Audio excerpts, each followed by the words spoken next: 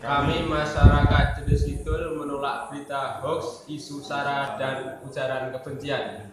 Kami dukung Polri menegakkan hukum dan tindak tegas NKRI harga mati. Yes, yes, yes.